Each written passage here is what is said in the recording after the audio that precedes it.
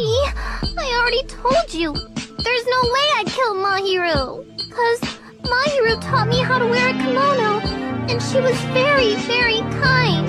There's no way I would kill a nice person like her. Why would you believe me earlier? You guys are stupid, stupid! Stupid, stupid,